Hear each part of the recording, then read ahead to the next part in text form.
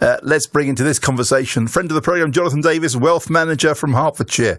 Jonathan, good afternoon. Hello, Rob. Jonathan, what, what you, what's your take on this? The idea of giving everybody under the age of 55 £10,000? Um, the the idea, uh, whatever the numbers, the idea was used throughout the 20th century.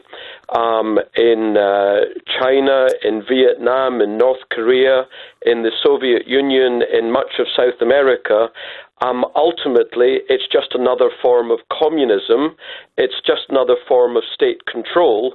However, they wrap it up. And I don't doubt for one moment, in fact, I'm one of the biggest arguers, that artificial intelligence and the technology that we're seeing coming through in the 21st century is going to put millions, possibly billions, out of work, which of course is the first time that's going to happen in 250 years of the Industrial Revolution. But this is not the answer. This is uh, this is the ultimate, Rob. You're, you're, you're listening to get this. This is the ultimate in state control, because the very simple reality is, if they can give you money, if they can raise it, they can also reduce it or take it away if they're unhappy with you. There is, there is an idea of universal basic income that you, you, the government, a, a, government gives every citizen that needs it twenty thousand pounds, but you do away with all kind of benefits and, and tax reliefs and pensions. You just get a flat fee, and somehow the the economy benefits. The government saves money. Um, as I say, they, they tried it with communism, and the reality is that when you don't, when there's no incentive to go out and actually work and uh, produce and uh, develop your career and your professionalism, then you sit on your couch watching um, um, that Kyle bloke uh, and and eating pizzas. In other words, uh, the economy goes down the pan. Um, no, this is not the answer. The answer is reduce the cost of living. I've just been listening to you um, talking to various guests about how much it costs to live. Uh, accommodation, how middle earners, 25 to 34s, will never be able to buy a house. I couldn't agree more. But no one, I notice, has, uh, uh, uh, and indeed in the news, um, they, they had uh, Paul Johnson from the Institute of Fiscal Studies saying everything but the solution. And the solution is to reduce house prices, How? to reduce the cost okay. of living. Okay, uh, um, thank you for listening. Uh, uh, there are some really emotive emails coming from parents and people who just can't get a house. The uh, one idea that was floated earlier was capping house prices. I said you can't do that. I mean, how how, how would you cap the, the housing market? You, you, you, can you can do whatever you want, and that's the thing. Governments always intervene, whether it's capping energy prices or putting taxes on uh, uh, on whiskey or, or on uh, on sugary uh, foods.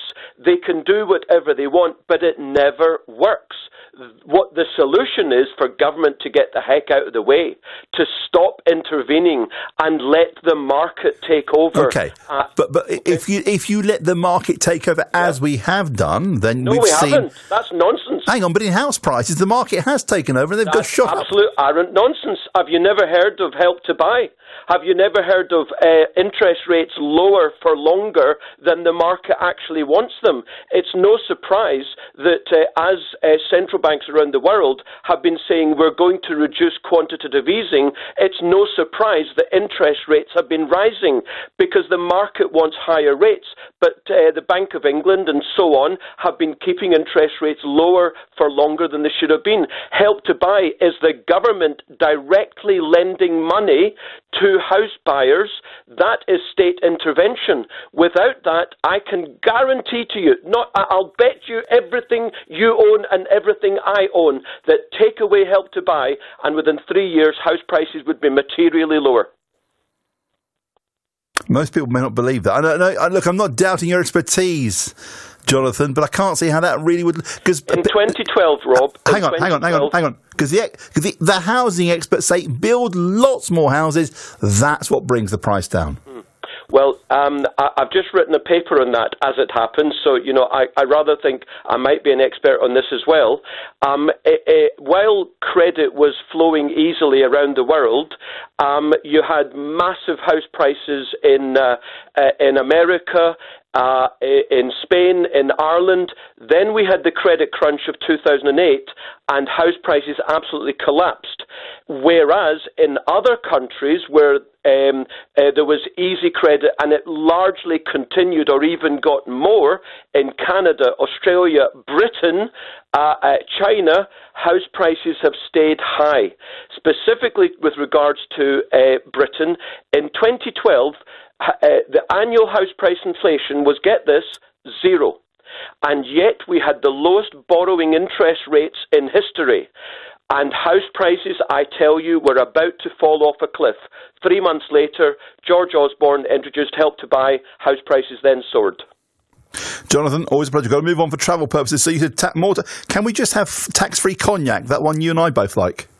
Um, I, I, I, tax-free anything would be good for me. Thank you, Jonathan.